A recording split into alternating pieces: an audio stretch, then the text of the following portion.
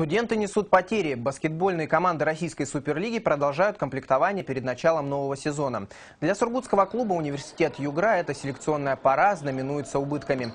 Воспитанник местного баскетбола Владимир Дичок завершил карьеру игрока. Владимир Шевель, Илья Александров и Александр Зайкин подписали контракты с командой «Алтай Баскет» из Барнаула. Один из лидеров прошлого сезона, тяжелый форвард Денис Хлопонин, пополнил состав принципиального соперника университета – команды «Урал» из Екатеринбурга. Ожидается, что в составе студентов не найдется места и для нигерийского центрового Энди Агиде.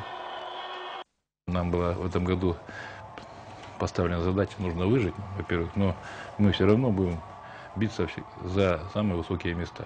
Несмотря ни на что, будет у нас один состав, будет лично жалко, что игроки, которые составляли костяк нашей команды, игроки, которые прошли и огонь и воду, за которую мы бились, придется с некоторыми игроками расставаться.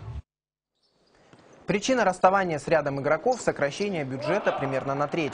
Таким образом, финансирование клуба в новом сезоне составит порядка 50-60 миллионов рублей.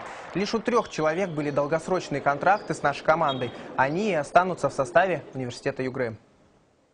Останется значит, наш лидер Никола Липович, потому что у него двухлетний гарантированный контракт. Точно остается Антон Агиев, лучший нападающий в этом сезоне. Остается. И э, Савинков, Саша, тоже лучший игрок по защите.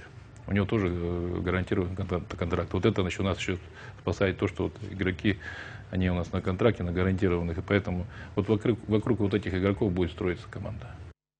Еще больше интересного, любопытного, важного. Еще больше вашего доверия. Вашего доверия.